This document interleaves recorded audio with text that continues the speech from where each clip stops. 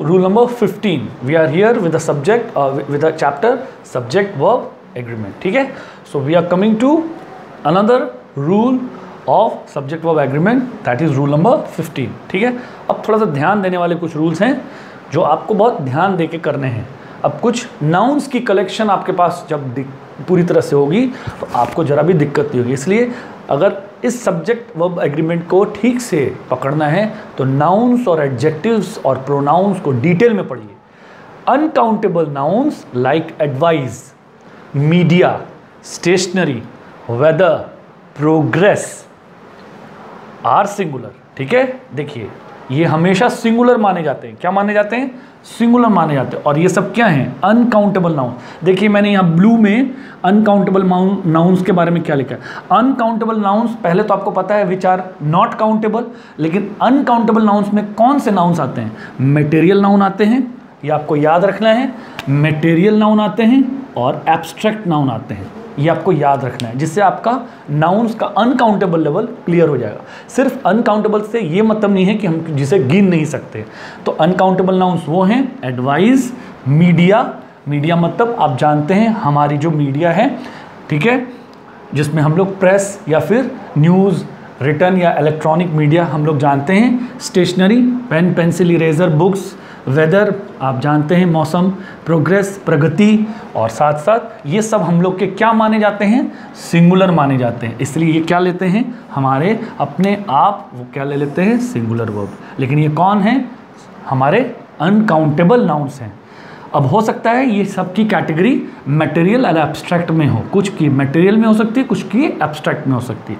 So her advice has not been considered ठीक है? तो हमने हैज़ लगाया। ओके? तो हैज़ क्या है? किसको इंडिकेट कर रहा है? सिंगुलर को इंडिकेट कर रहा है। The media place a very important role तो यहाँ पर फिर प्लेस किसको इंडिकेट कर रहा है? सिंगुलर को इंडिकेट कर रहा है। तो ये एक ऐसा रूल है जिसमें आपको दो तीन जानकारियाँ एक साथ मिल रही हैं। पहले तो अनकाउंटेबल नाउन्स फिर अनकाउंटेबल नाउन्स क्या होते हैं? मेटेरियल और मेटेरियल और एब्स्ट्रैक्ट होते हैं और साथ साथ इनके साथ हम लोग सिंगुलर वर्ब लगा रहे हैं। Okay now we are coming to rule number sixteen ठीक है? Some nouns which are plural ध्यान दीजिए, ये बहुत क्रिटिकल रूल है।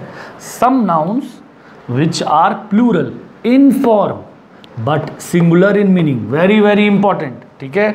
इसको याद रखिए। देखने में क्या है ये? प्लूरल हैं फॉर्म में। लेकिन आंतरिक रूप से क्या है? इनका मीनिंग क्या निकलता है? सिंगुलर निकलता है। क्या निकलता है? सिंगुलर निकलता है। टेक अ सिंगुलर वर्ब और लेकिन ये लेंगे क्या? सिंगुलर वर्ब को लेंगे। जैसे एग्जांपल देखिए न्यूज़ है ना प्लूरल देखने में? वेजेस है ना प्लूरल? आर्म्स भीख को आर्म्स कहते हैं। हाइड्रोलिक्स एक सिस्टम है जिसमें वैक्यूम काम करता है वैक्यूम।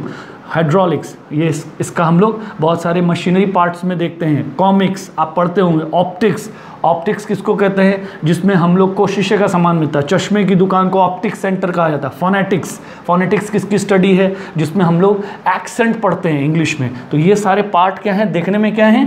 सारे के सारे प्लूरल नज़र आ रहे हैं। आ रहे हैं ना प्लूरल लेकिन ये लेते कौन सा वर्ब है? सिंगुलर वर्ब लेते हैं।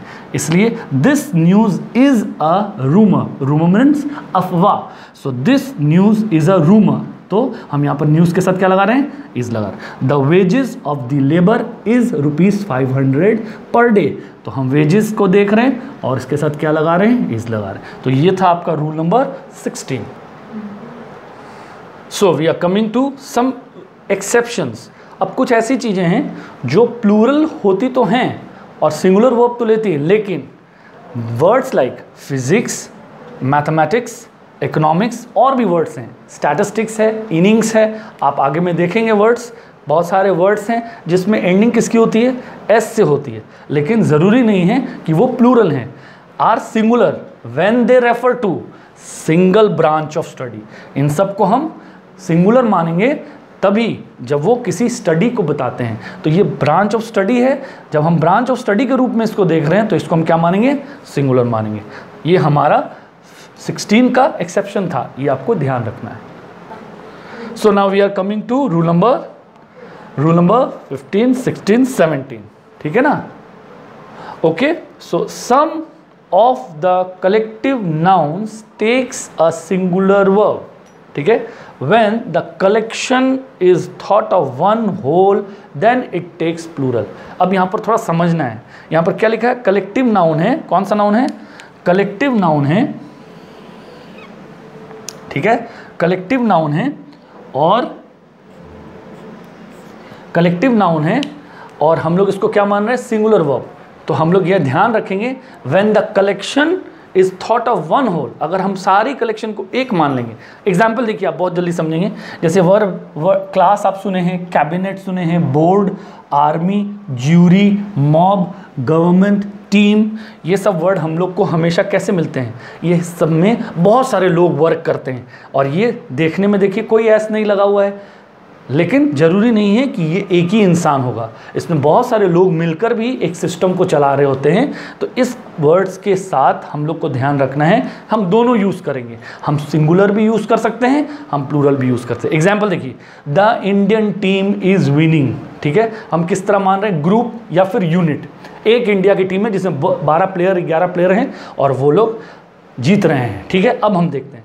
The India are fighting to win ठीक है? अब यहाँ पर हर एक इंडिया का प्लेयर है जो अलग अलग अलग अलग टीमों के साथ खेल रहा है और जीतने की कोशिश कर रहा है। तो हम लोग एक से अधिक को देख रहे हैं। तो यहाँ पर क्या लगा रहे हैं? आर।